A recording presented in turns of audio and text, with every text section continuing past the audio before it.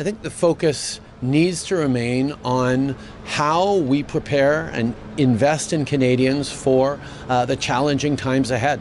The challenging world that we all live in that is impacted every day by geopolitical and global forces that impact on prices at the grocery store, that impact on prices at the pump, that impact on, on housing, impact on just about everything that Canadians are challenged with.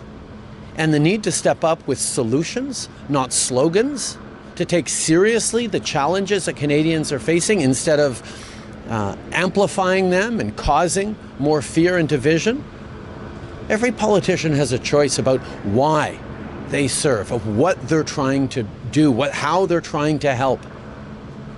And my focus is very much and always has been on how to serve Canadians and build a better future. That's not what we're seeing from the Conservative Party.